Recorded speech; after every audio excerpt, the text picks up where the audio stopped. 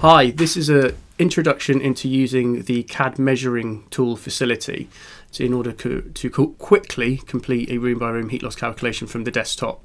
So um, within the version 2 environment desktop here, um, you can see, um, or dashboard could call it, um, is the submitted surveys, reports in progress, completed reports. Now let's, what we want to do is start a, a CAD survey. Um, so if I click on create new survey here, and on the next step you will be prompted for a uh, uh, click on the CAD button if you want to use it. So test demo. Um, I'm just going to quickly put in our address for the office.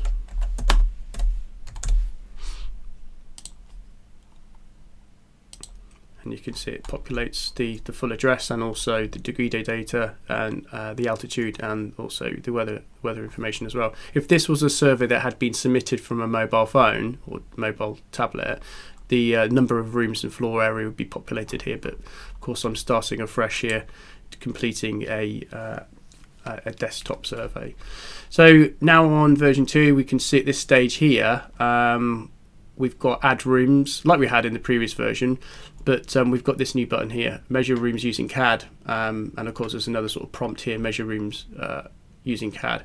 So um, I could be at the stage now where I could just simply go through and add all the rooms that are in this particular property, or I can I can still add the rooms when I'm in this environment. So I'm going to click straight away into measure rooms using CAD.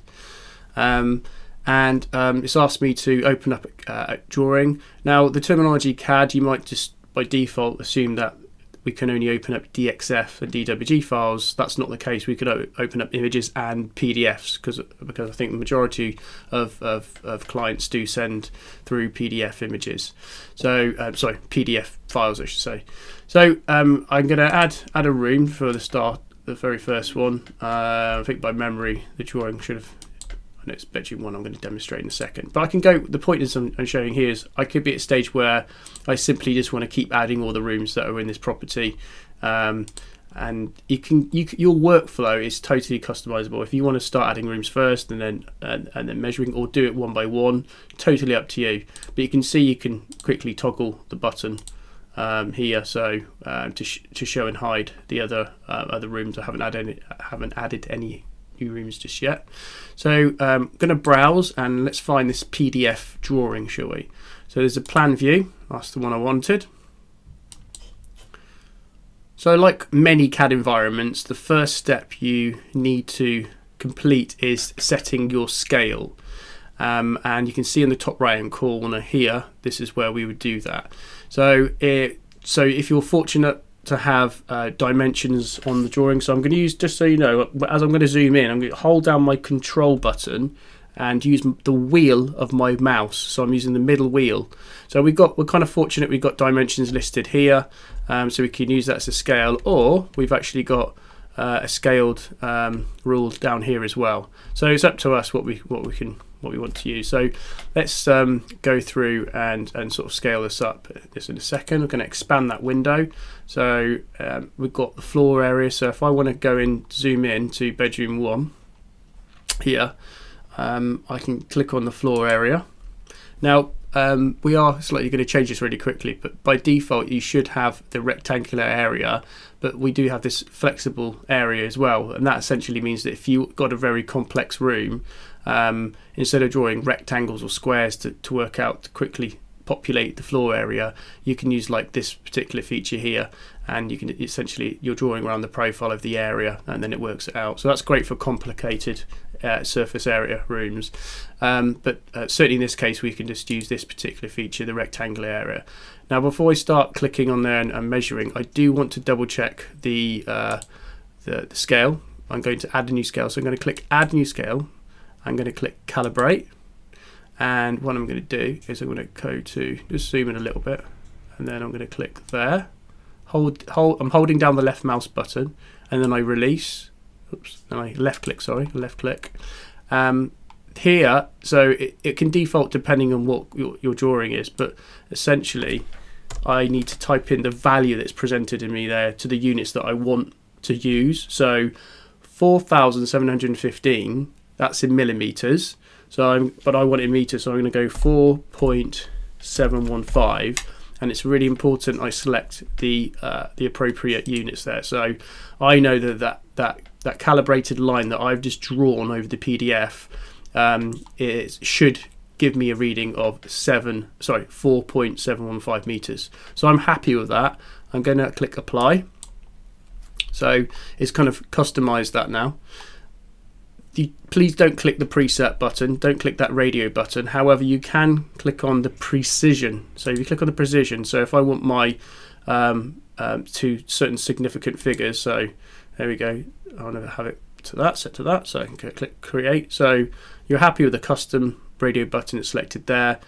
Don't click preset but of course select the precision precision um, of your results that you want displayed there. So click create and now you can see that my scale is in the top right hand corner. Something to be really mindful because in certain cases you might have an engineering drawing that's not only got the plans on it, so you might have a PDF that's been sent to you, it's got the plan view in a certain scale, but in certain size, certain certain instances, an architect will also have the elevations, which is great for measuring windows, which you will do, but it might be a ratio, a, a, a, a, 1 to 50 ratio rather than 1 to 100. So the, our tool allows you to fluctuate between the two, you know, the multiple different scales that you have set. So just something to be sort of mindful about what scale you want to use for actually recording. So I'm happy with that one there. Um, and then, like I said, I'm going to start measuring. So I click on the floor area um, and then I've got this rectangular area at the top here, selected this feature, and this is the part where it's super quick. So um, essentially, we're just going down like that, and then click, and then go down there a minute, and then I go to there, and then click. That's it. So I'm using my left mouse button just to sort of scroll across. So we've got two surface areas here, 16.75 meter squared, and then 2.44 and fortunately for you guys it populates the total here. So the rectangular feature is really uh, useful and it's very fast in in quickly getting the majority of our typical builds where you've got rectangular square rooms um, and populating the floor area. So that's yeah certainly is really sort of like helpful. When we come to measuring the external wall length uh, if I go to uh, click on the uh, the external wall length here again, just double check that you're happy with the measurement. So just go onto that scale, sorry, click on the scale that you want. So just, just double check the scale. Um, and then um, I've set, set, it to the distance here. So there's, there's, there's lots of different ways you can measure the drawing and it will populate into here. So just be sort of mindful about the, the different options here that you might want to take advantage of. So I can start sort of like uh, drawing here um, arrows on there just to get the perimeter or can use this button here? So I think if I click on the perimeter button for the external wall type and I'm going to go left click and then uh, left click and then right click to accept and then you can see it's got the total value in there. So 8.35 um, which is great so I've got that in there. Um, and if you ever click on sort of the actual the, the ruler again you can just double check to see where that parameter is. So if I jump between the external wall type here, I could just about see my green line here um, for the external wall perimeter that I've got measured. Um, and if I click on the ruler here again, I can see my um, my floor area profile there for bedroom one. So um, that's great. Um, I can I'm, obviously I'm going to measure windows from the elevations. Um, I can measure some internal walls, uh, the doors, etc. So anything to do with um, the kind of elevation side of things, I would need to open up my elevation drawing. Um, room height, in this case, is going to be nice and easy, so we don't need to measure anything. I'm just going to enter 2.4. Oops, not 2.4. There we go. So, and that's done. Um, uh, so yeah, so that's kind of that's very very kind of useful and, and speedy. Um, if I wanted to open up another drawing in this environment, you click on the plus button at the top there, um, and you can open up the elevations and, and, again scale that. Make sure you check in the scale um, before you start measuring. Um, there's also another kind of feature that some of you might like. If you go to settings you can go into dark mode. So if I click on here we've got a cool dark mode. And we can change the language. So some of you might have noticed that in version 2 uh, we've got the complete version in German. So um, that kind of helps for that environment. So if I go to English and click there we go. So I've got my kind of the dark mode um, and we are also looking at the whole kind of environment being having a dark mode option as well. If I click back, go back and see that light mode there again. Um, so if I go to uh, close that down, oops, hang on, reopen that again. Just go to save that, click save. You might find that actually we've, we've done an update to auto save, so you might not need to, you might not see that save button. So it's doing an auto save. Right, let's go and do um, the um, ensuite here. Oops, just zoom in. So again, just to remind you guys, I'm using the control button and my middle mouse wheel. Um, so my control button on my keyboard and the middle mouse wheel uh, to zoom in and zoom out. I am going to go to add room and then go to uh, ensuite. There we go, add room. And um, I can go to floor area, click floor area, double check my scale, I want that scale there, so floor area there um, and I want to use that feature there. So that's good. So uh, there we go. And I've got my floor okay a little bit I might want to start that again but you get the idea. And then next to the wall lengths as well click on the ruler. It's defaulted to that. And I did show you we've got this perimeter but I will just show you this ruler feature at this distance anyway. Um, I'm, I'm happy with that scale so then I go to here and then hit that uh, so it's populated it in here as well.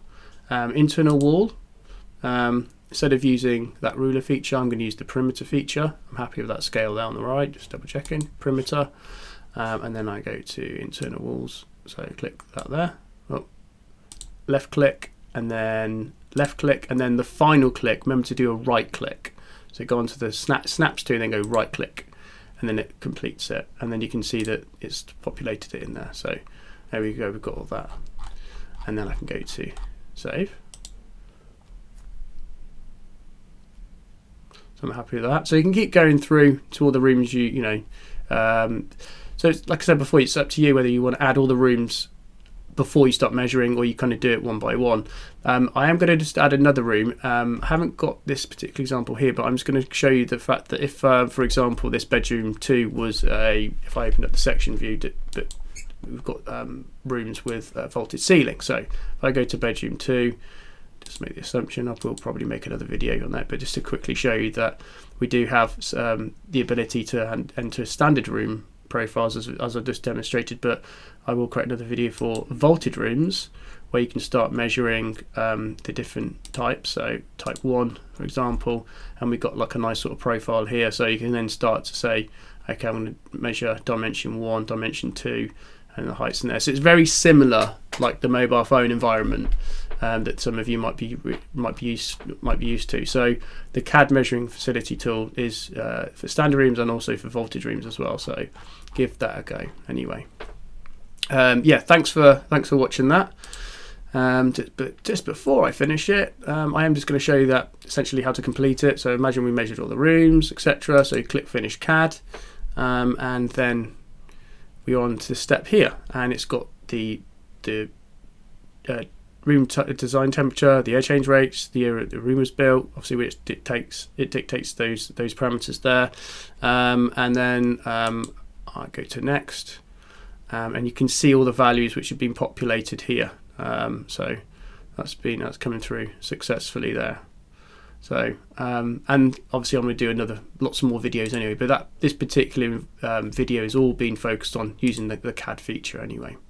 So yeah, thanks for thanks for watching. Oh, maybe we should just do this quickly. If you ever need to revisit it again, and you just and you want to measure more, make some edits, click the button again, and then it goes back. You takes you back to that environment again, and there you go. Okay, thanks for watching.